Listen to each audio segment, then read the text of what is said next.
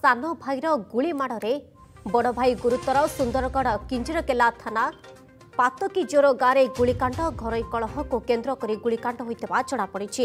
ତେବେ ଗୁଳି ମାଡ଼ରେ ବଡ଼ ଭାଇ ବାସୁଦେବ ସା ଗୁରୁତର। ହୋଇଛନ୍ତି ତେବେ ଗୁଳି ମାଡ଼ କରି ସାନ ଭାଇ ଫେରାର ରହିଛି। କିଞ୍ଜିରିକେଲା ପୋଲିସ ତଦନ୍ତ ଆରମ୍ଭ କରିଛି। ଏ ବର୍ତ୍ତମାନର ବଡ଼ ଖବର ଆସି ପହଞ୍ଚୁଛି ସୁନ୍ଦରଗଡ଼ରୁ। কিঞ্চরকেলা থানা পাতকিজোর গাঁরে গুলিকাণ্ড হয়েছে সান ভাইর গুলিমাড়ে বড় ভাই গুরুতর হয়েছে তবে গুলিমাড়ে বড় ভাই বাসুদেব সা গুরুতর হয়েছেন এবং সান ভাই বর্তমান ফেরার রয়েছে কথা স্পষ্ট হয়েছে পুলিশর তদন্ত আরম্ভ হয়েছে